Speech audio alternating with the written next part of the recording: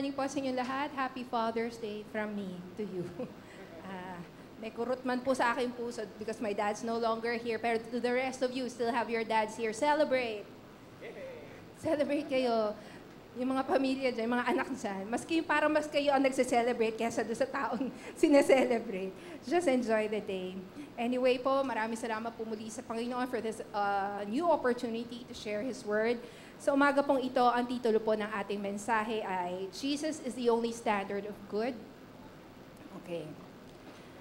Um, kakagaling ko lang po sa ubo. If I suddenly break out into a coughing fit, hindi pa po ako namamatay na na. Just give me time.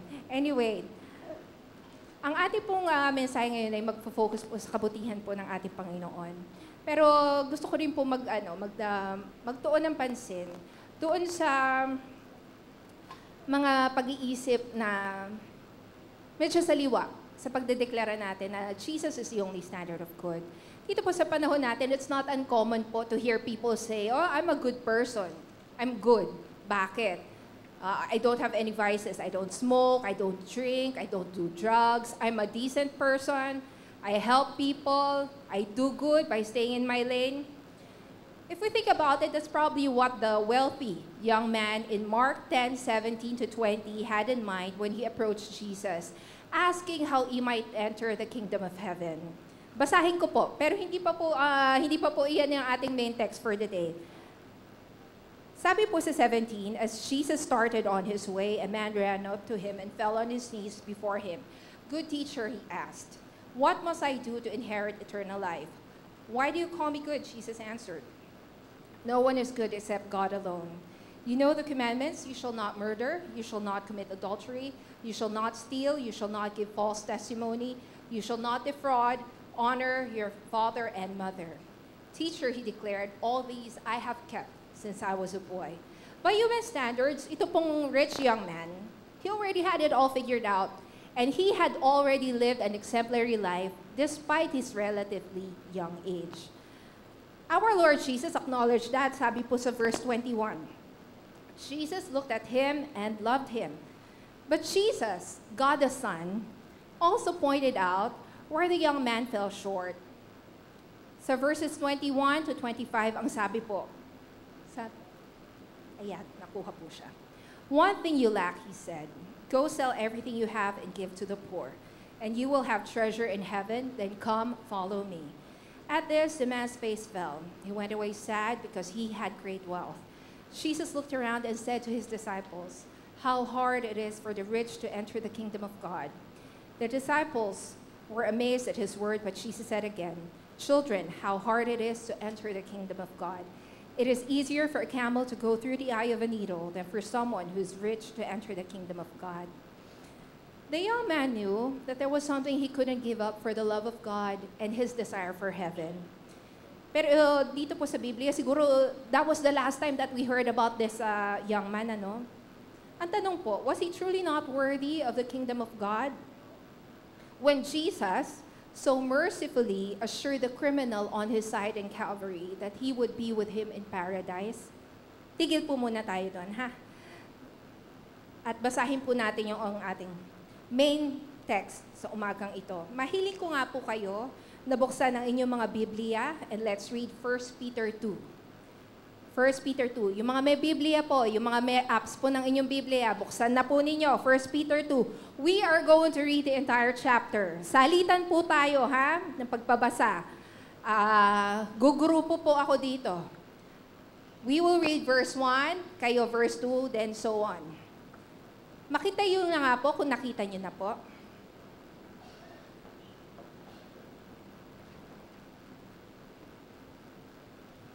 Kung nakita niyo na po ang 1 Peter 2, simulan na po natin. Sabi, ano, magpasa po ha, aloud. Kasabay ko po kayo. Tapos kayo, verse 2. Let's read.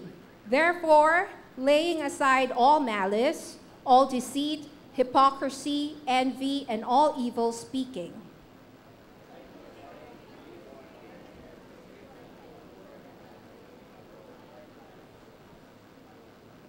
if indeed you have tasted that the Lord is gracious.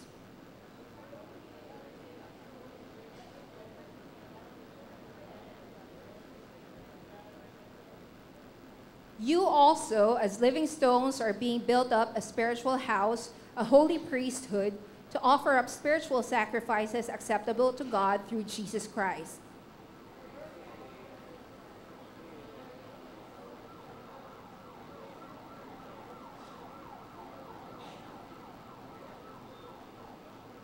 Therefore, to you who believe, he is precious.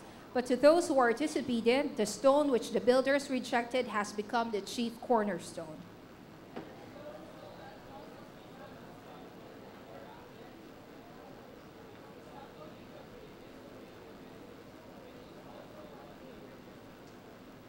But you are a chosen generation.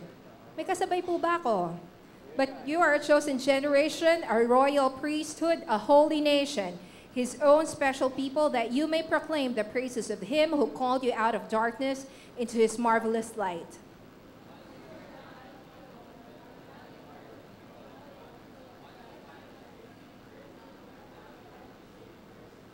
Beloved, I beg you, as sojourners and pilgrims, abstain from fleshly lusts which war against the soul.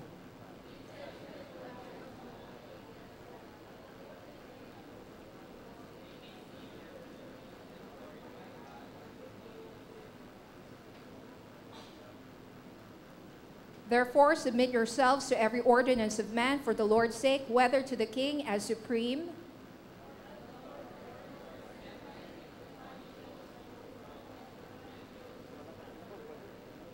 For this is the will of God that by doing good you may put to silence the ignorance of foolish men.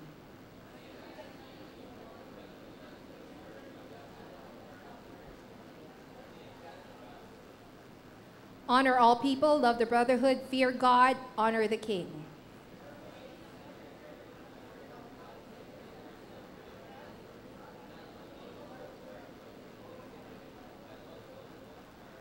For this is commendable, if because of conscience toward God one endures grief, suffering wrongfully.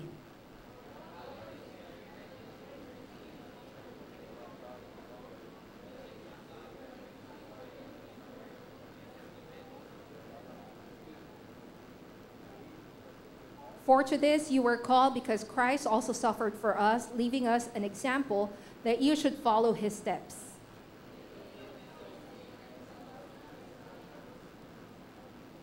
Who, when he was reviled, did not revile in return. When he suffered, he did not threaten, but committed himself to him who judges righteously.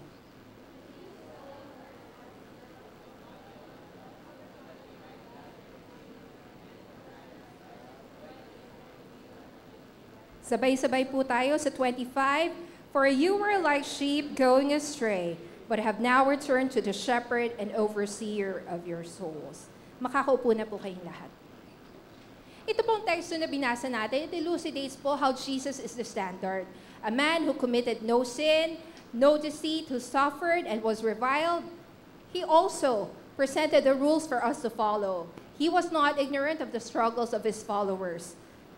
No doubt we should be holding anybody to a high standard other than our Lord Jesus Christ when it comes to goodness and righteousness. Pero po tayo mga tao, na mga human beings, with human nature, at maski po tayo ng mga Kristiyano na, maski matagal na, paminsan-minsan po, meron po tayong mga ibang naitataas na mabuti. At meron din tayong standard of living na hindi angkop sa turo ng Panginoon, maski sinasabi natin na ito ay mabuti.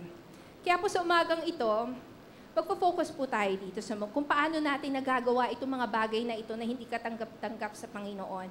At yung nararapat na pagtataas po natin sa ating Panginoong Jesus bilang tunay na pamantayan po ng kabutihan. Simulan po natin sa unang inclination, ano? Lifting oneself as the standard. Let's all admit that at one point or another in our Christian lives, nasabi po natin, at least hindi ko nagagawa yan. Hindi ko ginagawa yan. We establish our own situations uh, as better than those who actually sin. Kumbaga, my sins are not as grabe as yours, are not as grave as yours. We make ourselves the arbiters of what's good and what's right.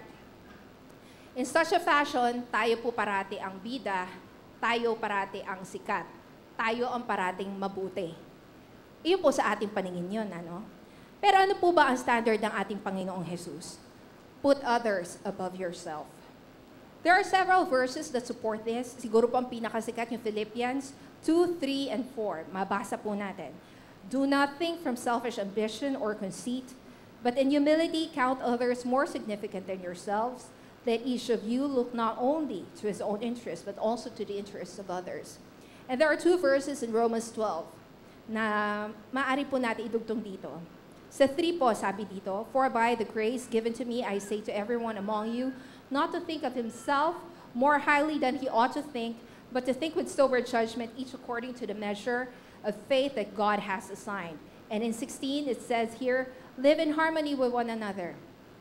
Do not be haughty, but associate with the lowly, never be wise in your own sight.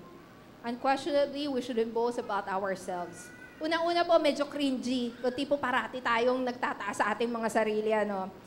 Pero lalo pong hindi tayo dapat magtaas sa ating mga sarili when we uh, talk about the quality of our walk in faith and goodness. Tandaan po natin, we have all sinned. It is written in the Bible. We have all sinned. And it's thanks to the grace of God through His Son, Jesus Christ, that we have the right to stand before His throne. So what can we do instead? Uh, siguro po ang pinakamainam is to remind others and ourselves that we are still on our walk. And as brothers and sisters in Christ, uh, we must uplift each other. Iwasan po natin magkumpara, lalo na sa mga sarili natin. Una-una, nakakahiya po yun, sa totoo lang. After all, we don't know each other's lives. We don't know each other's lives completely. Ang Panginoon lamang po ang nakakaalam nun. The next one is a little extreme. Pero medyo, eh, ano po ito, it came on display during the height of the pandemic. Using, oh, there's no the supposed, using Jesus as an excuse to be above authority or logic. Yun nga po nasabi ko sa inyo, di ba? This came on display during the pandemic. Uh, naalala ko po, kaming pamilya nun, uh, nanonood kami ng TV Patrol online And uh, there was this group of young Christians na maglalakbay po sila sa dagat. At um, hindi na po sila pinapayagan noon. Actually, first wave po yata ito. Nung first wave ng COVID. Hindi po sila pinapayagan. Ayaw, pero ayaw nila sumunod sa utos ng gobyerno to stay put. Um, ito po yung patungkol sa pag-iingat mula sa COVID. Napakatapang po. Babae yun eh. Babae yung nagsalita nun eh. Naaalala ko. Sa, may kasabay akong bata. um, eh, yun nga po, may babae na nagsalita. Napakatapang po na sinabi niya, proprotektahan kami ni Jesus laban sa COVID. Uh, ito po yung panahon na ano na overwhelmed po yung ating mga ospital. Nagkakaubusan ng ospital na mag admit ng mga tao na may COVID-19. And in the US, it was almost the same thing people were claiming that Jesus was their God eh, or their boss, kaya they're above the law. Um, I don't know what became of those people, sadly. Pero ang mas nakakalungkot, nakakalungkot po doon, yung Christian faith was mocked because of their behavior. Ang issue po dito ay hindi yung pagsunod sa panukala ng gobyerno na inilatag upang tayo po ay protektahan. At higit sa lahat yung paggamit sa kapangyarihan ng ating Diyos, ating Panginoong Jesus, sa maling konteksto. Iyon po yung keyword, maling konteksto.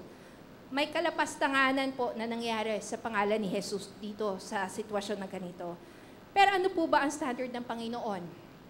Submit to authority. Tayo mga Kristiyano, we, we don't doubt that God is above all, Jesus is above all. They are the ultimate authority and power. After all, God created the heavens and the earth. And Jesus, during his time here on earth, he accomplished uh, incredible miracles. However, in the situations that I mentioned earlier, applicable po yung verses 13 to 17 ng 1 Peter 2. Balikan po natin ha. Sabi po dyan, Therefore, submit yourselves to every ordinance of man for the Lord's sake whether to the king as supreme or to governors as to those who were sent by him, for the punishment of evildoers and for the praise of those who do good. For this is the will of God, that by doing good you may put to silence the ignorance of foolish men, as free, yet not using liberty as a cloak for vice, but as bondservants of God. Honor all people, love the brotherhood, fear God, honor the king. I will never argue that our government is flawed in uh, more situ- uh, in more ways than we can count. Sa pagbabayad na nga lang po, di ba, ng buwis, eh, issue na yan sa ating presidente. Meron po tayo mga miyembro ng ating gabinete na may anak, nahulihan ng mga droga, pero parang hindi po na-apply ang law doon, ano? Ang ating po gobyerno, it is flawed. However, tayo pong mga Kristiyano, let us never use our faith as an excuse for insolence. Alam niyo po ba yung insolence sa Tagalog? Hinanap ko po ito eh. Walang pakundangan. If you are walang pakundangan, you are insolent. Yes, Jesus is above all. But remember Jesus responds in Mark 12:17. Give to Caesar what belongs to Caesar and to God what belongs to God. Tayo po, we are hev- we are heaven bound. We know our king. He's the king and king of kings, lord of lords. But we are still on earth. Sa kalakaran po ng societal order, we're supposed to follow rules set by man. We can do that without compromising our Christian faith and our testimony, and in so doing, Jesus will be glorified. Of course, it's a different matter kung parang nung panahon ni Daniel, di po ba? When we are asked to praise a different God, to respect a different God, it's going to be a very different matter.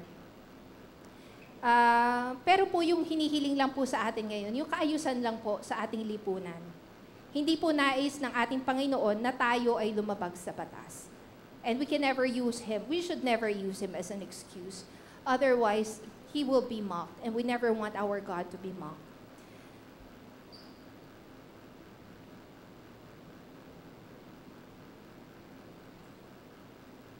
Ang standard, ano ang standard? Can you post it, please? Yeah, submit to authority. Number three, setting our eyes on representative Christians. Pag sinabi mo natin mga representative Christians, ito po madalas yung mga popular Christian groups, popular Christian personalities, that we have a lot of these days. Di ba po meron tayong TBN, we have channels devoted to uh, Christian groups. Uh, kami hindi na namin alam dahil wala na kaming TV sa bahay.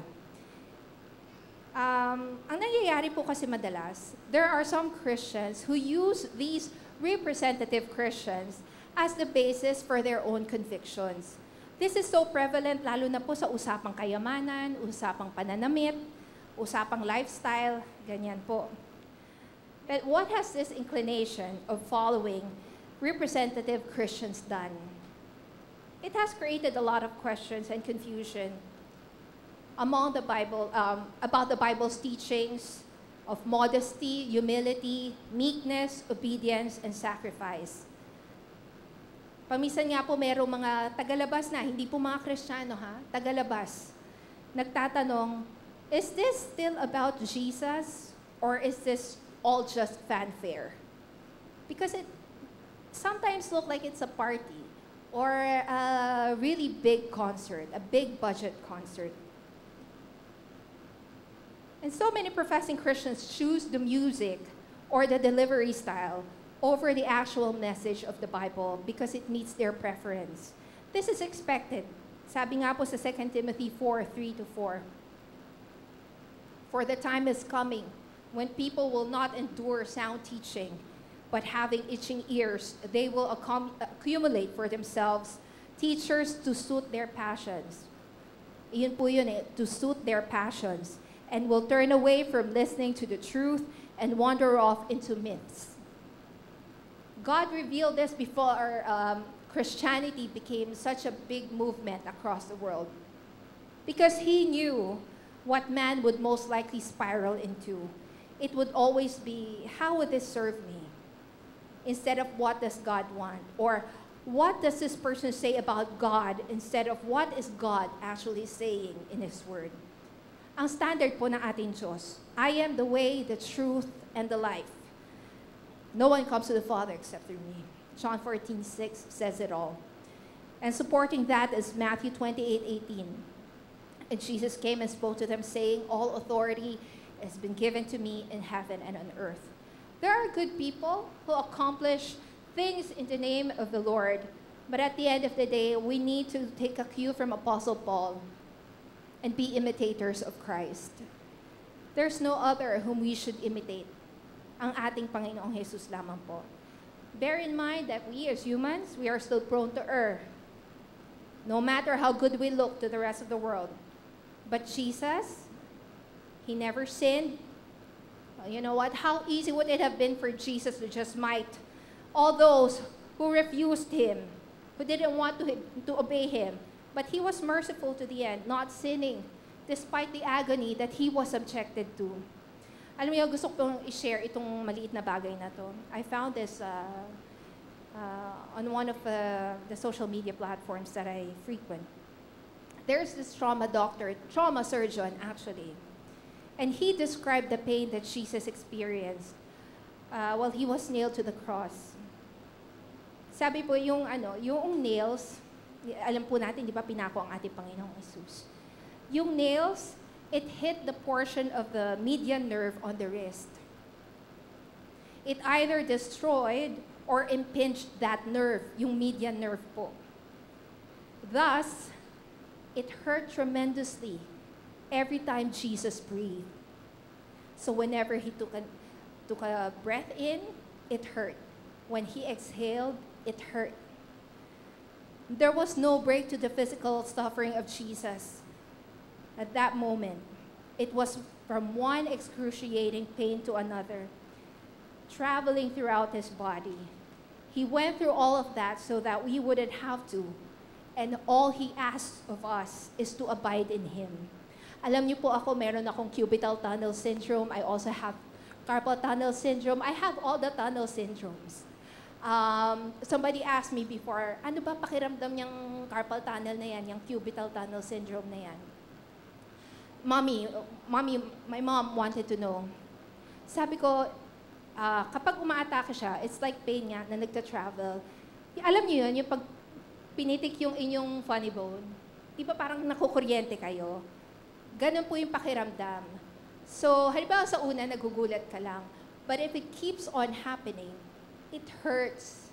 My mom has seen me in, uh, in great pain because of that. Talagang kandasigaw po ako sa sakit. Imagine the Lord experiencing that. And He was hanging. Nothing was supporting Him. So, yung trauma surgeon po, when he was explaining that, alam niyo, he couldn't stop from, fear, uh, from tears falling down his eyes. Kasi nga, ganun po talaga yung kahirap ng pinagdaanan ng Panginoon. Kaya ba natin yun? Pero ang ating Panginoon, ang ating study, di ba sabi po ng ating Panginoong Jesus, there's no greater love than laying down your life for a friend. Sometimes nga, even your family cannot lay down your life, uh, cannot, cannot lay their, their life down for you. But that is what is expected of us when we follow Jesus. But if we really hold on tightly to the Lord, we will be able to live to that standard. Hindi po ba? Alam niyo po, nakita ko po sa akin yun. Of course, this is not something great. Alam niyo po. Um, nung nagkasakit po yung mommy ko, alam niyo po, nanginginig yung boses ko kasi pinagpapawisan ako ng bongga. Nandali lang po ha.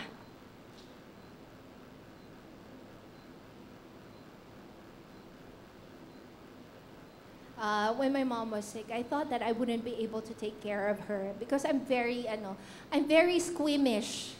Alam niyo po, uh, I have uh, three, I have a niece and two nephews. I couldn't change their nappies. Ganun po ako ka-squeamish. And then when my mom got sick, hindi ko naman po itinataas yung sarili ko. Kaya nga lang po, inaalala ko na lang yung pagmamahal sa amin talaga ng Panginoon noon.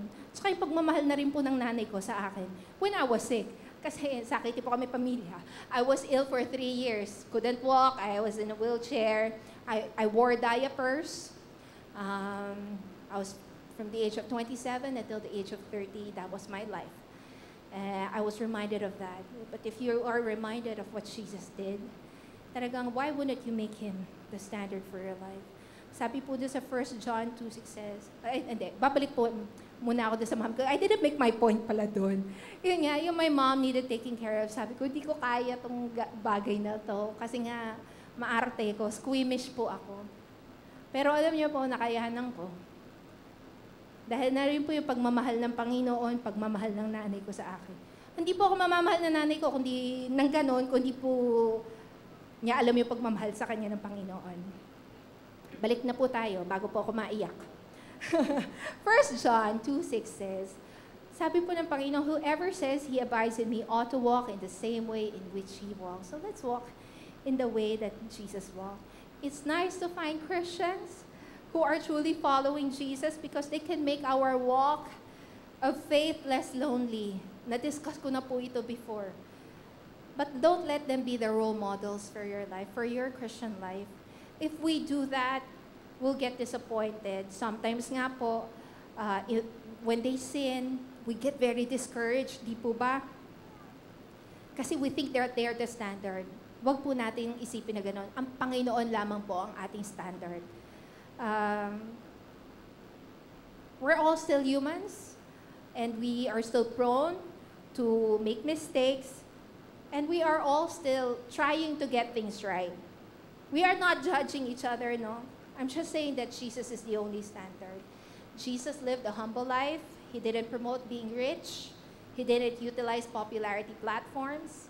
He didn't pursue high positions on earth. But instead, he magnificently uh, fulfilled the purpose of God for him. So when it comes to Christian living, let us go back to the root word of the word Christian. Ano po yun? Christ. And this is the last one. This is going to be a very quick message. Letting your heart of hearts lead you to the right path. This has been discussed also many times before in the pulpit, maski po doon sa aming BU, nung bagong-bago pa po yung BU. Sabi dito, usong-uso po ito ngayon, yung mga kasabihan na follow your heart. Ito po nga advice madalas. Uh, it easily goes around Christian groups rin, ano? And this is even complemented by the also questionable claim of God knows my heart. Indeed, God knows our hearts. He knows everything. He is, he is omniscient. That's why it is written in the Bible. Let's start with Genesis 6.5. Ah? kung paano po alam ng ating Panginoon ang ating mga puso.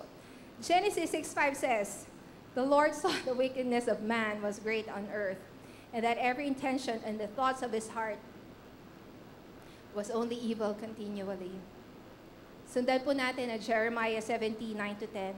The heart is deceitful above all things and desperately sick. Who can understand it? I, the Lord, search the heart and test the mind to give every man according to his ways, according to the fruit of his deeds. Sa verse na ito, pinapakita po na ang ating mga gawa, ito po ay bunga ng ating puso, kung ano po ang nasa ating mga puso. Ituloy po natin sa Mark 17, 21 to 23. For from within, out of the heart of man, come evil thoughts, sexual immorality, theft, murder, adultery, coveting, wickedness, deceit, sensuality, envy, slander, pride, foolishness, all these evil things come from within and they defile a person. What does it say? The heart cannot be trusted. Here's the truth, Christians. If your behavior is hurting the ministry or your brothers and sisters in Christ, and then people question your intentions, saying that the Lord knows your heart, it doesn't salvage the situation. Yes, God knows our hearts, He knows your heart, He knows mine. But what you should be asking all the time is if you are in tune with the heart of God. Iyon po ang importante. And ano nga po bang standard ng ating Panginoong Jesus? Be justified by what He did, by what Jesus did, not by your heart. Our hearts have the propensity to serve us. We are very self-centered. We are selfish people. Iyon po ang nature natin. That's why we need Jesus to transform us. Actually, ito po, very evident po to sa pananalita ng karamihan. Whenever we have the strong urge to justify our actions according to the intentions of uh, our hearts, instead, Turn to Jesus and search His Word for the truth about your situation and learn what He would have done. What Jesus would have done. WJWD. Pray about it. Di ba sabi nga po ni Pastor Felix, kape? Ano nga po yung kape? Kausapin ang Panginoon every day. If we do that, God will provide us with the accurate answers to all of our questions. Makipag-usap po tayo sa Panginoon. Then proceed with humbling yourself before Him and acknowledging that all the good that you're capable of only has value because of what Jesus accomplished on the cross of Calvary. Christians, don't ever tire of asking Jesus to cleanse your heart so you can be good. You cannot do that by yourself. That's why God sent, sent him, sent Jesus Christ as the lamb for the slaughter in our stead. Tapos na po ang ating message. Andito na po ako sa conclusion. Balik po tayo doon sa tanong ko kanina, no? Was the rich young man really not worthy of heaven? He wasn't. And every person who claims that he is good is also not worthy of heaven. By ourselves and by our own standards, we cannot enter the kingdom of God. That's why God sent his only begotten Son, Jesus, who was not just a teacher, but likewise the absolute standard of good.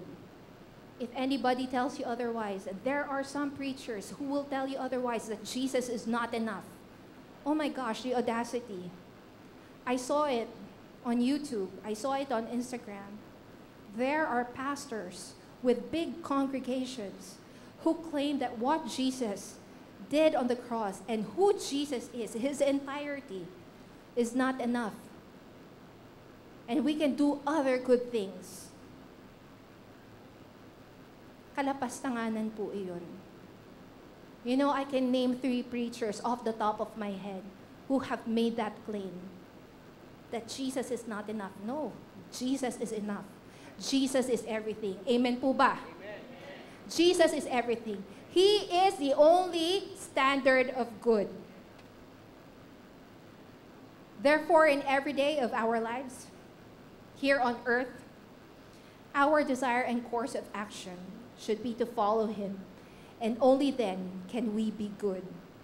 Manalangin po tayo. Close your eyes. Bow your heads. Panginoong Jesus, maraming salamat po sa iyong salita. Iyong salita that uh, aims to straighten our past, Lord God, so that we can be good before you. More than that, we are grateful, Lord God, sa pagpapadala mo po ng iyong anak na si Kristo Jesus to set the standards for us to follow. We continue to ask for your power to transform us, to work in us in such a way that we can overcome our weaknesses and our shortcomings. And finally, confidently say that indeed, in Jesus, we live, move, and have our being. Maraming salamat, O Diyos, sa iyong kabutihan, sa iyong perfect ways, Panginoon, and for your mercies that never end. To thee all glory, honor, and praise, Father. In the name of our Lord Jesus. Amen.